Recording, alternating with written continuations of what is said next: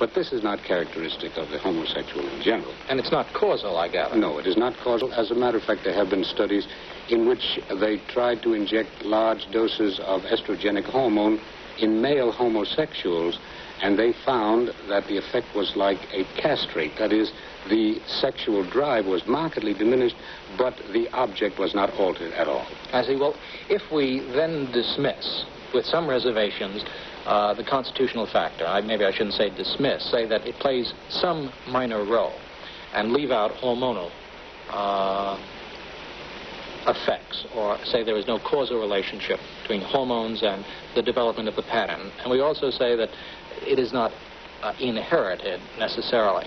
Then I suppose we come back to the psychological processes that you began to talk about before. And I wonder if we could elaborate uh, on those. Coming back to the question of origin and cause, uh, why in one family does a child, if we tend to play down the congenital and the constitutional, why does one child become homosexual and in another family a child is not? What are specifically the factors? Well, um, there again, I want to emphasize the uh, child-parent relationship. Now, we're not saying that um, these parents cause homosexuality, but we are talking, and we want to emphasize this because we also want to mention prevention, of these certain attitudes. As I said before, um, a frightening or threatening or intimidating father may so frighten a child, a boy, let us say, that uh, later on in life, he will be so frightened of any male figure that he will want to submit. He will want to be permissive, uh, uh, um, passive. He will want to uh, not enter into any argument.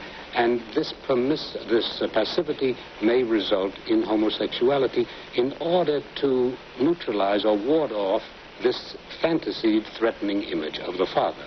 Or, as I indicated to you before, that a mother who is dominant and aggressive and controlling and um, uh, isolates this boy from all social activities, or at least activities with the same sex, uh, may develop in this boy an identification with a mother as a female and a fantasy that he wants to be a female too, like the aggressive, dominant, uh, controlling mother. So that these are many factors and there are many uh, combinations of these elements which enter into the final development of a homosexual expression. You find these factors enter into your studies? I, I would emphasize other factors. And I think it's, uh, it's a sort of a non-specific unhappiness plus the chance of meeting with some aggressive adult of the same sex.